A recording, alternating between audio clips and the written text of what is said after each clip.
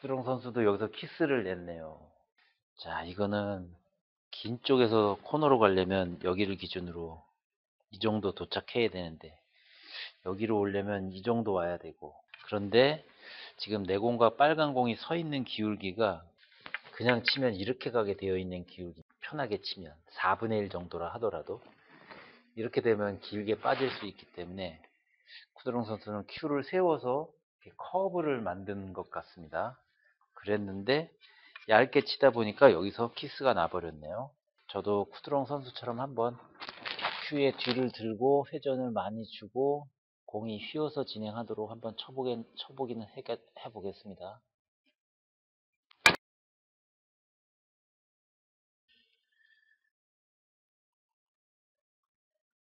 아, 아슬아슬했습니다.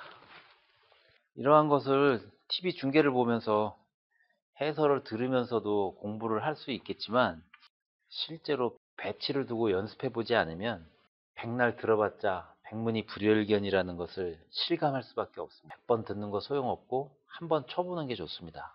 아, 그런 면에서 당구 박사의 스마트폰 당구 교재 당구에 관심이 있으신 분들은 빨리 사서 이 배치, 쿠드롱의 배치, 뭐 블롬달의 배치, 프로 선수들이, 선수들이 친 배치 놓고 따라 해 보십시오. 따라 해 보면 느낄 수가 있습니다. 이래서 이렇구나라는 것을. 뭐 다른 좋은 교재가 있으면 그걸 사용해도 되겠죠. 이건 뭐 뭘 쳐야 됩니까?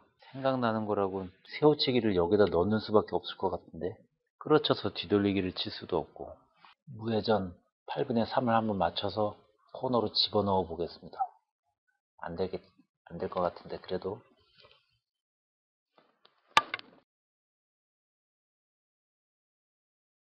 안 되네요.